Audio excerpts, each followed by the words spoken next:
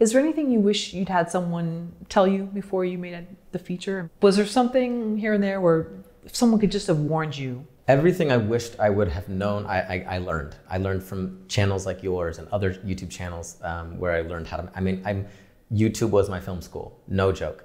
Um, in fact, there's so I mean, there's so many channels in thank you in my credits. Oh, you guys good. are in the thank you Oh in my, my gosh, credits. You really? You guys Oh. taught me so much, right? Thank you. So Wow. so everything I wished I had learned, I, I made sure to learn, right? Um, any of the pitfalls or the warnings, I got all that in, in my studies. I, I, okay, what can I look out for? What can I? So I learned from everyone's mistakes, and, and I think that's why it was such an enjoyable, easy, smooth experience for us. Um,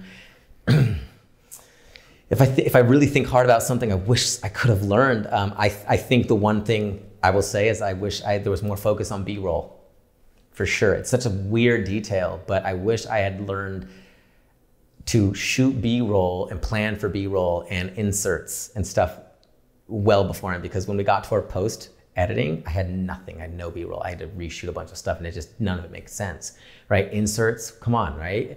Um, so that that's one interesting detail I wish I had really learned about beforehand was planning for B-roll, um, because we didn't, and we didn't, and we didn't have any, and we had to reshoot a ton of stuff, and it was tough. Um, but as far as like the experience of filmmaking, no, I, I, I heard the lessons and I took them from all the channels I watched and whatnot. So yeah, there was nothing I looked back. It's like, oh man, I wish I didn't do this. No, I, I just followed the guidelines that people talked, taught. Yeah. What about set photography? Did you have a lot? I of- wish we had. I wish we did. Um, you had a few though We- yeah, on we- your Facebook. Yes, uh, we had the producers taking candid shots. Um, I didn't instruct them to, thank God they did.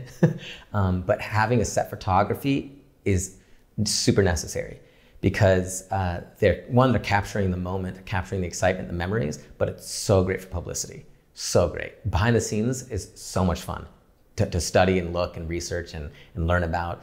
Um, so our producers did take some, uh, but uh, it's not something I wish we would have had an on-set photographer all the time, but couldn't get one. Yeah. Yeah. Um, And I, I wasn't worried about spoilers either, because we're, we're, we're not known. So spoil the crap out of it, right? Get people to know what this is. Oh, there's a new film. What's this mean? What's that mean? Great, talk about it. I mean, we're not like we're not like a major major blockbuster who needs to keep everything tight-lipped. No, I, I want find out. Yeah, take pictures, leak whatever you can. I want people to find out about this thing. You know. So- Isn't that? I remember when La La Land, I think, was like Right. leaked. Right. and Oh, right, right. you know, there was like Well, some pictures far away of and now you're finding now you're finding directors like, well, if we're gonna have paparazzi leak it, I might as well leak it myself. Sure. So at least let's get the pictures to look good, right? Let's get the videos to look good. And uh, yeah, it's like it's like part of the game now. I think you know leaking your stuff to, to hype it up. But yeah, I had, had people leaked my stuff. I would have felt honored, you know, because no one knows about it yet. So So when do you think it'll be out? I know you said it's it's up on Amazon Mm-hmm. Yeah. Prime. Is it for per, used for purchase? right Well, now? it's, it's currently not on Amazon Prime at this moment anymore because the film, um, the, the film festival wants the world wants the world release. So we, it was literally on for eight hours. We got the email saying we were in. We took it right down.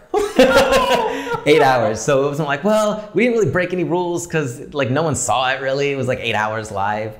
Um, so it will be live on Amazon Prime July 1st July first. which okay. is like two days after the festival. Gotcha. Um, and then yeah, it'll be live there. Anyone can watch it, you know.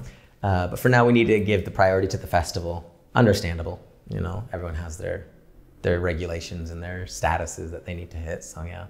So you're going to try to find distribution, Netflix, whatever, and if for whatever reason that doesn't happen, are you going to do an aggregator where you're going to then put it on video? I, I, I've thought about going through Distribber. Um, I, on, uh, they're obviously the go-to. I know Distribber works directly with Netflix Oh, for, for stuff. I mean, Netflix goes to Distribber to aggregate everything Awesome. first. Like, even if you don't go through Distribber to get to them, Netflix goes to Distribber, right? So they're a great company for Absolutely. self-distribution. Amazing.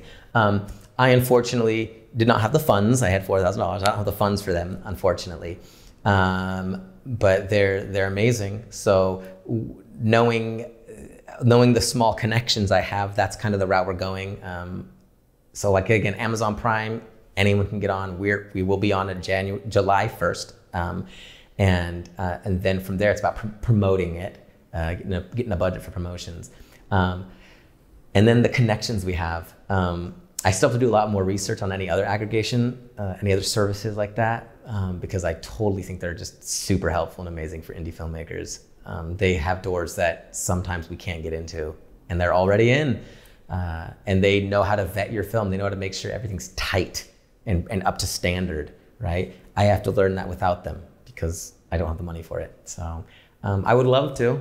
I would love to go through them, but or other other distri- distribution aggregation stuff. But at this point, we're just doing it ourselves.